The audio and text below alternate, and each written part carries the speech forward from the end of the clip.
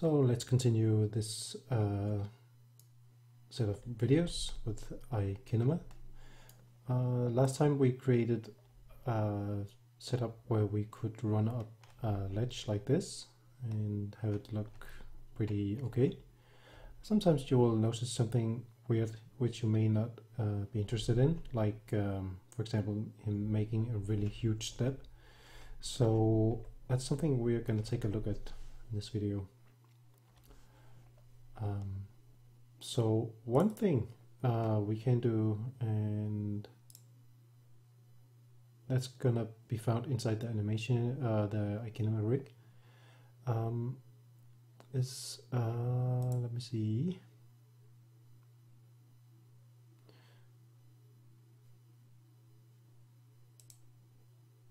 actually no it's not found in here. It's uh, inside the animation blueprint sorry um, so when you click this node here uh, there's a little node up here called line trace scale and if you change this up to down to 0.5 for example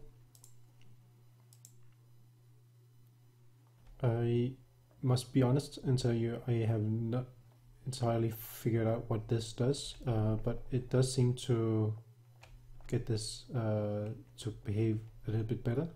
So as you can see, uh, I have to get pretty close to the ground uh, before he tries to step down and touch the ground. Um, so one thing actually I just noticed is that the the right foot seems to be floating above the ground. I haven't really figured out why that happens. Um, but that's something I will try and look into. Anyway, uh, changing this uh, setting, uh, the what's it called? Um, line trace scale down to half of uh, half the the, the value uh, seems to make sure that uh, he doesn't make that huge step sometimes. Um, so he will end up um, like this and only when he can reach the ground uh, he will try to make a foot adjustment. So it's something you, you can play around with uh, see what uh, suits your needs. Okay, so uh, another thing I wanted to address in this video is um, uh, now that we have our guy running and we want to make him jump uh, as he usually can, you might notice that he's going to make that little hitch you see here. Uh, so it's um, gonna look like that. So I guess there's a way to change this uh, without um, uh, inside the animation rig. I haven't really figured out uh, which setting it is uh, I should uh, change. Uh, but I did found find a nice workaround for this, which includes using um, a blend by bool.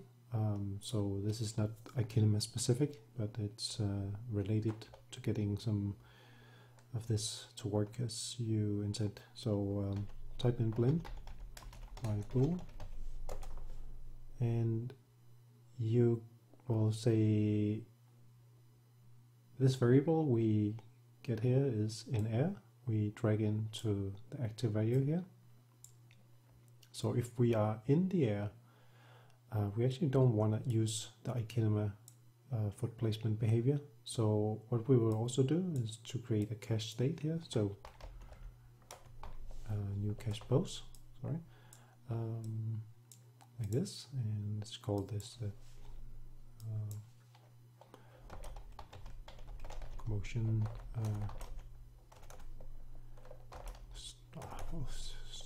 um, pose and we'll just use this down here. Uh, use a motion pose. And pop that in. So um, if uh, we are not in there we will go into this one and uh, connect that one up. And if we are in the air we're just gonna use the regular um, um, this one So this has a few drawbacks. Um, I'll tell you in a moment. Um, but as it is right now, you can see we can now jump again and land smoothly. And we can still uh, walk up our ledge. And we can still jump and, and land. And let's see if we put ourselves like this. He will land uh, softly uh, there, right? so the drawback of this uh, approach is that if you have um, some other functionality you're using inside the iKinema foot placement behavior node, uh, that's going to be turned off during uh, the time when he's in the air. Um, and until I find a better way to work around this, uh, what you can do um, is actually to uh, um, add another node here. Um, type in solve using iKinema uh, rig um, to go in between here. And uh, basically this tells uh, that it should use a different uh, IK uh, solver when we are in the air. Um, and in order to get this to work, because if we just run now and jump, he's gonna look really weird uh, when he's in the air. So we need to connect something up to this. So when you drag out from this one and type uh, to get this make iKinema um, solve a task, uh, I like to use this one because it can be collapsed um, you want to make sure that you turn on translation and orientation and leave the alpha to zero. So that just tells it that it should not uh, use anything. So just make sure to disable everything.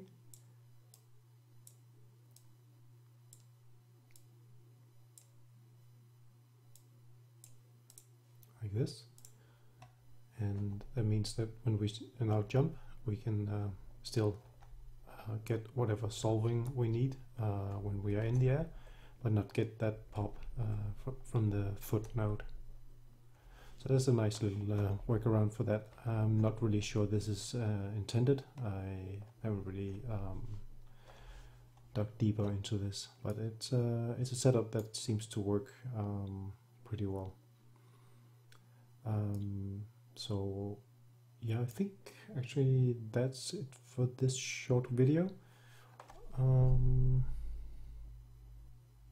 yeah, um, I'm going to continue in the next video taking a look at actually the look at uh, tasks, uh, what we can use them for. So uh, stay tuned and uh, see you in the next. Okay.